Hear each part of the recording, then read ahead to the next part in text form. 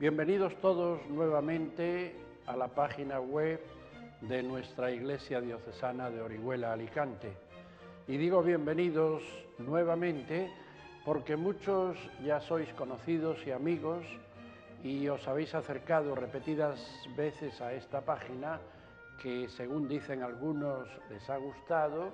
y ahora lógicamente buscáis nuevas noticias y nuevas presencias de la diócesis puesto que esta página nuestra es la que de alguna manera se asoma al balcón de la diócesis para ofrecer algunas actividades de las que vamos realizando con normalidad y con sencillez a lo largo del año.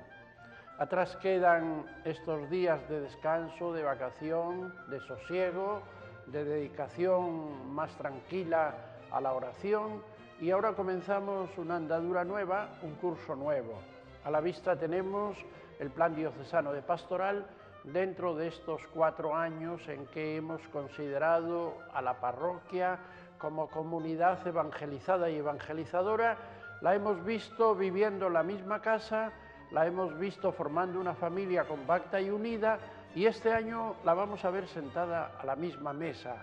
a esa mesa de familia y a esa mesa de la Eucaristía que en todas las parroquias y en todos los lugares de cultos nos va a ofrecer el pan eucarístico, el pan de la salvación y de la vida. Tendremos también durante este curso el congreso que estamos preparando sobre los seglares, sobre los laicos.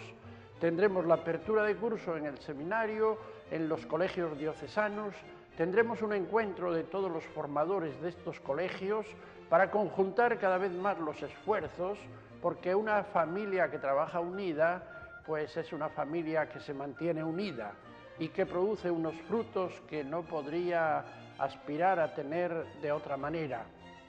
Nos esperan muchas actividades, cada una de las parroquias hace su programación parroquial, cada uno de los organismos, de las entidades, de los grupos, de las asociaciones, pero vamos a iniciar el curso con mucha ilusión,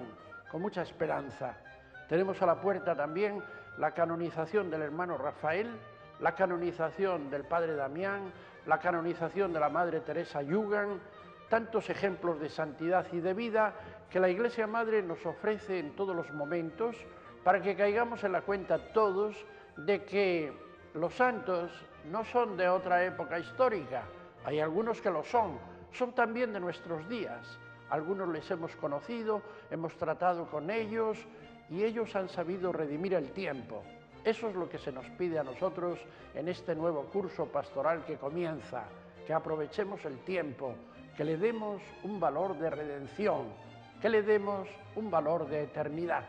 Bienvenidos todos y que nos encontremos a gusto relacionándonos unos con otros y trabajando juntos en el nombre del Señor.